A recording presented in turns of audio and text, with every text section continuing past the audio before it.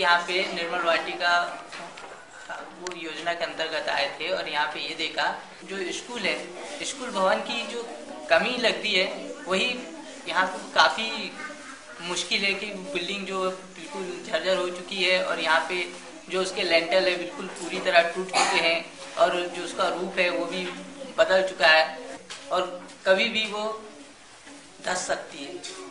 शिक्षा अधिनियम 2009 के तहत हर प्राथमिक शाला में सभी प्रकार के सुविधाएँ होना उचित माना गया है। पन, ग्राम कचलोरा के प्राथमिक शाला भवन 20 वर्ष पुराना बना हुआ है, जिस भवन में छत की बुरी स्थिति है, कहीं सज्जा लटक रहा है, छत में से टुकड़े टुकड़े होकर के नीचे गिर रहा है वो पुराना बिल्डिंग है वहाँ क्यों नहीं बैठालते? आपको मास्टर वहाँ क्यों नहीं बैठालता? सर वो स्कूल घर गिर रहे हैं इसलिए हम इसी क्लास पे पांचवी पहली से पांचवी तक यहीं पे बैठते ठीक है। तो आपको दिक्कत तो होती होगी कि पाँच क्लास के बच्चे एक ही जगह बैठते हैं तो आपका पढ़ाई में तो बाधा होता होगा।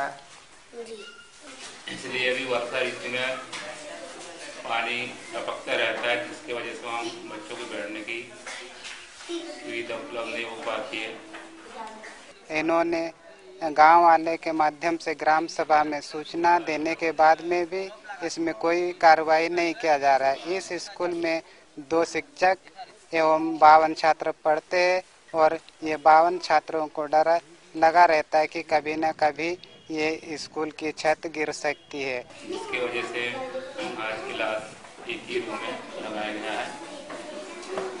वो छत कभी भी गिर सकता है। इसकी वजह से एक एक क्लास रूम में अतिरिक्त अपने शिक्षण कार्य चलाया जा रहा है सर आपने कहीं ग्राम सभा में प्रस्तावित करने को बोला गाँव वाले को? हाँ उसमें तो ग्राम सभा प्रयास करने के लिए बोला परंतु अभी तक कुछ कार्रवाई नहीं किया गया। है तो इसको बिल्कुल इसमें रिपेयरिंग तत्काल होनी चाहिए। तो आप क्या चाहते हैं कि तुम्हारे लिए दूसरा बिल्डिंग बने कि एक ही बिल्डिंग में तुम रहना चाहते हो?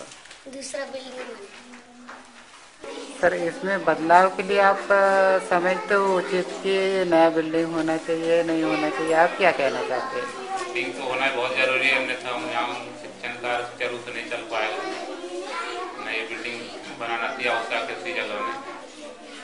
तो होगा नहीं तो उसको मरम्मत करने की भी उसकी संभावना नहीं है क्योंकि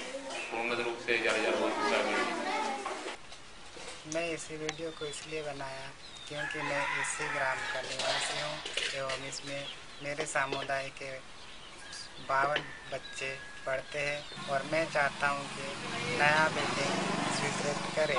हमारे विकासगण घोरा डोंगरी के मुख्य कार्यपालन पी सी नरवरिया जी को आप फ़ोन करें, चौरानवे ज़ीरो छः तिरतालीस सैंसठ छियासी पर फ़ोन करें और हमारी मदद करें ताकि हमारे लिए एवं हमारे बच्चों के लिए नवीन भवन बनाया जाए। मैं मोहनलाल, मध्य प्रदेश से इंडिया हंड्रेड के लिए।